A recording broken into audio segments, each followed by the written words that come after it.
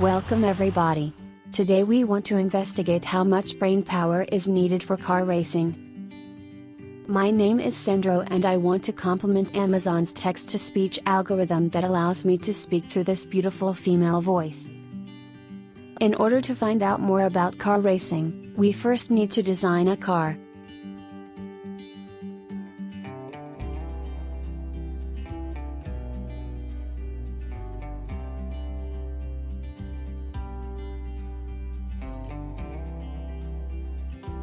Ah, what a unique piece of art, isn't it? In a second step, we generate different racing tracks.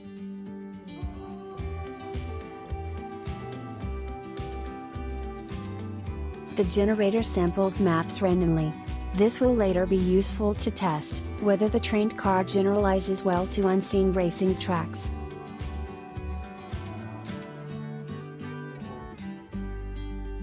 Next, we equip the car with a visual system. Three lasers measure the distances to the nearest barrier.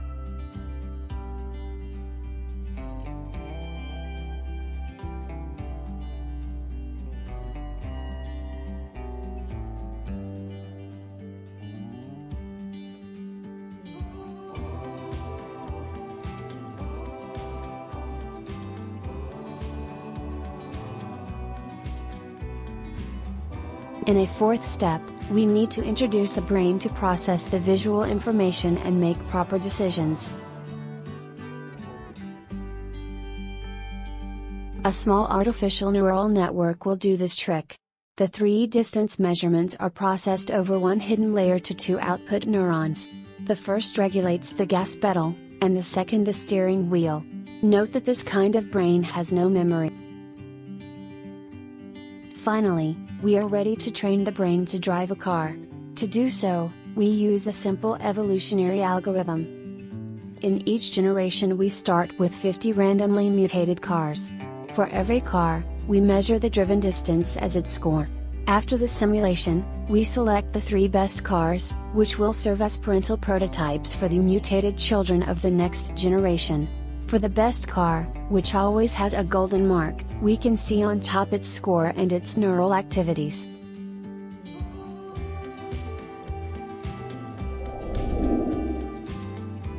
Since our cars have no memory, they don't know about their current velocity.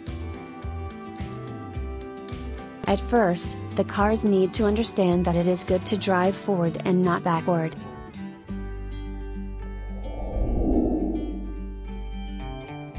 After a few more generations, almost all mutations are driving in the right direction. Some of them have even managed to overcome the first curve. And we have one outstanding performance. This will give great children in the next generation.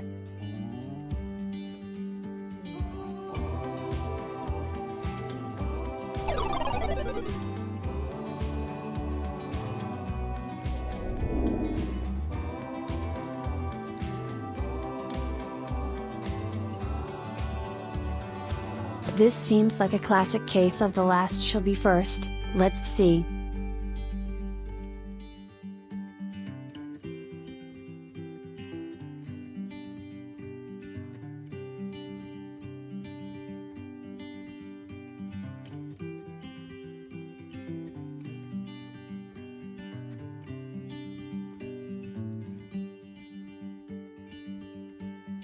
Okay, clearly this car could turn rounds forever. Yeah. That was easy. Now let's do a harder map and increase the brain power a little bit. As you can see, we added one neuron to the hidden layer. While we enjoy the simulations, I want to use the time to talk a little bit of what choices we have to make whenever we use any sort of evolutionary algorithm. When we train a neural network, we are looking for an optimal way of how strongly the neurons are connected to each other.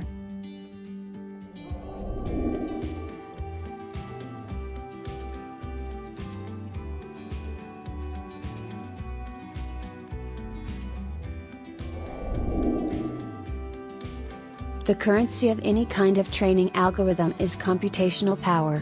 It is so fundamentally constrained by physical laws, such that the whole security paradigm like our bank account and cryptocurrencies relies on the assumption, that computational power is not free.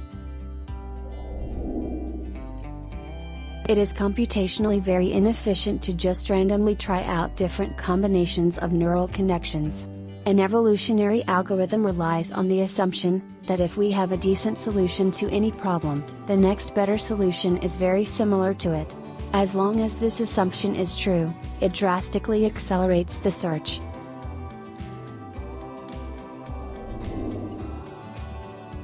Since the car has a limited grip on the ground, their curve radius is limited by their current velocity. It is very exciting to see that in order to deal with this problem our little friends are not just driving annoyingly slowly, but learn to take optimal trajectories in curves, that is, starting high at the opposite side, and going in low.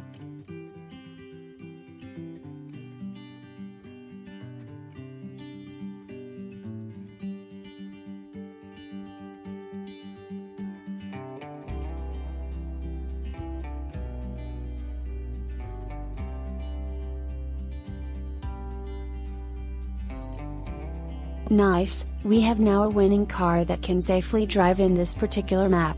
But how well does it generalize to another more complicated map? Let's find out. In this very large map, the car appears as a tiny object, almost like an ant.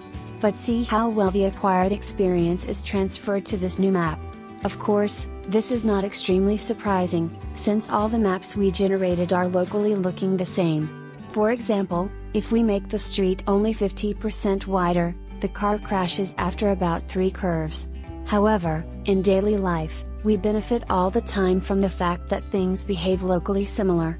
For example, if you visit a new town in a different country in a different culture, the network of roads and the way buildings are arranged are locally most likely very similar to your hometown. This is because there is a fundamental rationale in city optimization shared among the cities. Yes, we have done it. We are ready to answer the guiding question of this video. Only a few neurons are enough to learn simple non-interacting car racing. In the face of the fact that a human brain has more than a billion times more neurons, why are we so much challenged by car racing games? I suspect, that compared to for example chess, the bottleneck is not the information processing, but that features like reaction time and concentration are limiting factors.